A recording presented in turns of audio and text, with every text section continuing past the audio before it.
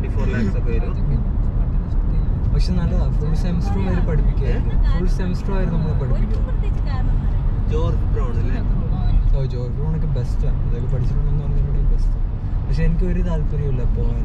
കാരണം ഞാൻ ഓൾറെഡി മൂന്ന് കൊല്ലം വർക്ക് ചെയ്തിട്ടുള്ളതാണ് ഇവിടെ ഞാൻ ഡൗൺ ടൗണിൽ വർക്ക് ചെയ്തിട്ടുള്ളതാണ്. അപ്പൊ എനിക്കത് എത്ര താല്പര്യപ്പെട്ടിട്ടില്ല. വെറുതെ ഒരു തീരെ കൊള്ളാത്ത ഇൻഡസ്ട്രി തോന്നുന്നു. വർക്ക് ചെയ്യാൻ? വർക്ക് ചെയ്യാൻ. സ്വന്തമായിട്ട് റെസ്റ്റോറന്റ് ആണെങ്കിൽ കുഴപ്പമില്ല. അത് സ്വ- സ്വന്തമായിട്ട് നമ്മൾ പറയില്ലേ സ്വന്തമായിട്ട് വർക്ക് ചെയ്യാന്നൊക്കെ നമ്മൾ പറയുന്ന അത്രയും എളുപ്പമൊന്നുമില്ല. നല്ല പാടാണ് എല്ലാം പാട് തന്നെ ശരി തന്നെ. പക്ഷെ എന്നാലും ആ, ആ ഒരു കോമ്പറ്റീഷൻ ഉണ്ടാവില്ലേ ആ ഒരു കോമ്പറ്റീഷൻ ഉണ്ടാവില്ലേ ഭയങ്കര വിസിബിൾ ആയിട്ട് കാണാൻ പറ്റും. ഫുഡിൽ ഇങ്ങനെ എക്സ്പെരിമെന്റ് ചെയ്തിട്ട് എന്താ ഫ്യൂഷൻ ഫുഡ് അങ്ങനെ നല്ല ടേസ്റ്റ് ഒക്കെ ഉണ്ടാക്കി കഴിഞ്ഞാൽ എങ്ങനെ ഉണ്ടാക്കുമായിരുന്നില്ല നമ്മൾ എങ്ങനെ വെച്ചാൽ നമുക്കൊരു മൂന്നാമത്തെ ഒരു സെം ആയപ്പോ ഇൻ ഹൗസ് ആയിട്ട് തന്നെ കോപ്പ് ചെയ്യണം ആ. അപ്പൊ അവിടെ തന്നെ ഒരു റെസ്റ്റോറന്റ് ഉണ്ട്. കോളേജിന് തന്നെ. കോളേജിന് തന്നെ ഒരു റെസ്റ്റോറന്റ് ഉണ്ട്. ആ, ആ, ആ. ഇൻ ഹൗസ് ആയിട്ട് കോപ്പ് ചെയ്യാൻ വേണ്ടിയിട്ട്. അതിന്റെ പേരാ ഷെഫ് ഹൗസ് എന്ന് പറയും. അപ്പൊ അവിടെ നമുക്ക് പുറത്തുനിന്ന് ആളുകളെ കഴിക്കാൻ വരും. നമുക്ക് ഒരു ഫീൽ ചെയ്യിപ്പിക്കാൻ വേണ്ടിയാണ് അവരെ തുറന്നു വെച്ചേക്കുന്നത്. പൈസ കൊടുക്കണ്ട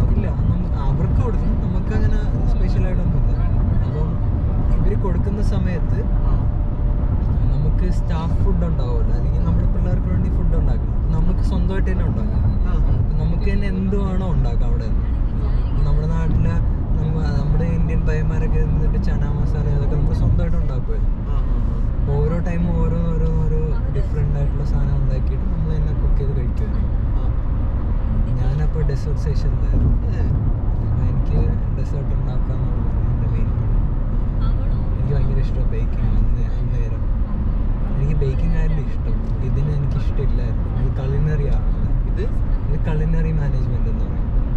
പക്ഷെ എനിക്ക് ബേക്കിംഗ് ആൻഡ് പേസ്ട്രി ആർട്സ് എന്ന് പറയുന്നതാണ് ഇഷ്ടം കിട്ടിയില്ല പിന്നെ ഇവിടെ ആസാദ് ബേക്കറി അറിയാലോ അവിടുത്തെ സാധനങ്ങൾ കഴിച്ചു മട്ടപ്പന്നൊക്കെ ബേക്കറി നമ്മുടെ നാട്ടിൽ ആസാദ് ബേക്കറി നിർത്തുന്നുണ്ട് ബ്രോ. അവരെ അവരെ ഉണ്ടാക്കണം പേസ്ട്രിയുടെ കാര്യം ആ. അവിടെ നമ്മൾ ബ്ലാക്ക് ഫോറസ്റ്റ് ആ എന്ത് സംഭവം കഴിച്ചാലും സൂപ്പർ ടേസ്റ്റ് ഇങ്ങനെ ക്രീമൊക്കെ ക്വാളിറ്റി ഉണ്ടാവുമല്ലോ. അവിടുത്തെ ക്രീമൊക്കെ ഭയങ്കര ക്വാളിറ്റിയാണ് ഞാൻ വിചാരിച്ചു ഈ ബ്ലാക്ക് ഫോറസ്റ്റ് എല്ലായിടത്തും അതുപോലെ. അതേ സാധനം നമ്മൾ മറ്റു കടയിൽ പോകുമ്പോൾ ക്രീമിന്റെ ഒരു ടേസ്റ്റ് വ്യത്യാസം കാണും. ചിലപ്പോൾ ഇങ്ങനെ കടിക്കൊക്കെ ചെയ്യും. കടിക്കുമ്പോൾ പഞ്ചാരയുടെ ഒക്കെ. പഞ്ചാരയുടെ എന്തോ ഒരു പൊടിയാണെന്ന് അറിഞ്ഞൂടാ. പൊടിയുടെയൊക്കെയാണ്. അവിടുത്തെ പിന്നെ ബട്ടർ പെൻ എന്ന് പറയും. ഭയങ്കര ടേസ്റ്റാണ്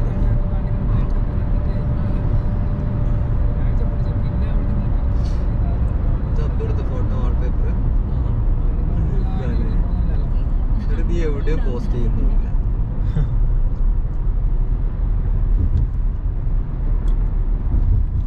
ഞാൻ എപ്പോഴും ശ്രദ്ധിക്കില്ലെന്ന് പറയും ഈ വിൻഡോസിന്റെ വാൾപേപ്പർ വരുമല്ലോ അങ്ങനെ മാറി മാറി. അതിലേതെങ്കിലും ഇന്ത്യക്കാരെ പേരോ അല്ലെങ്കിൽ ഞാൻ കണ്ടിട്ടില്ലെന്നാ തീരെ. ഈയിടെ നമുക്കിപ്പോ നമ്മുടെ റോമ കേട്ടിട്ടുണ്ടോ? റോമോ.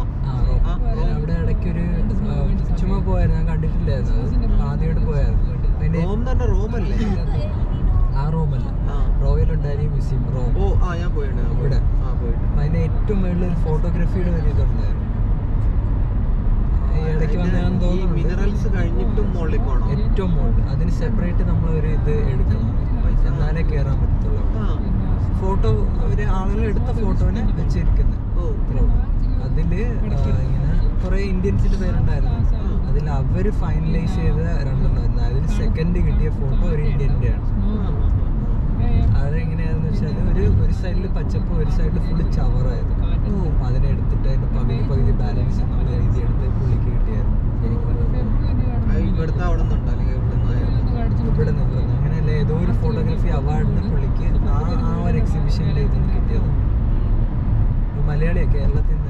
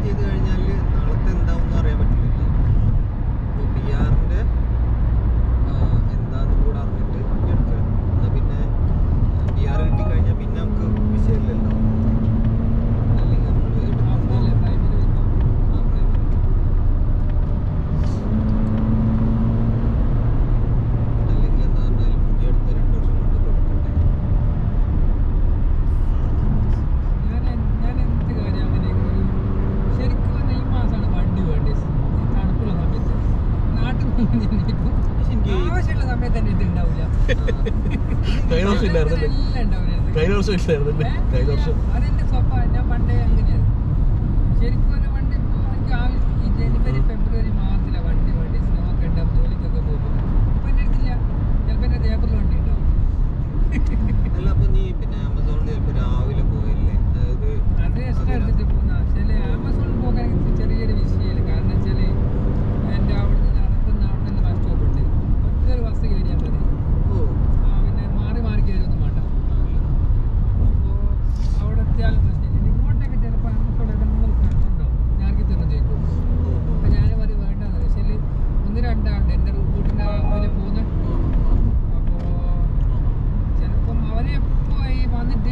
കൊടുത്തിട്ടൊക്കെ പോവാം? ലീവ് കൊടുത്തിട്ടൊക്കെ പോവാം?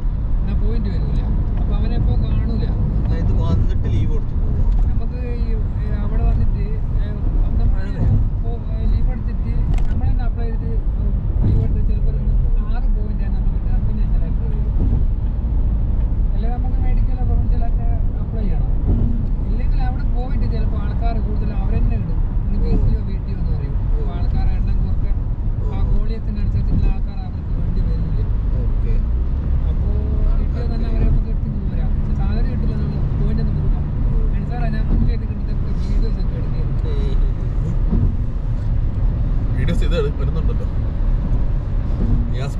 റോഡിൽ ഇറക്കോടല്ലോ ഇത് ഇതിന്റെ വ്യൂ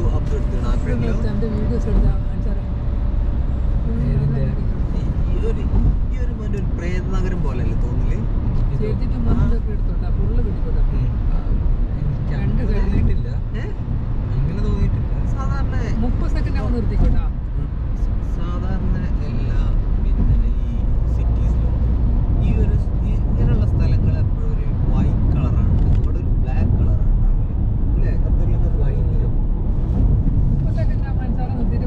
welcome.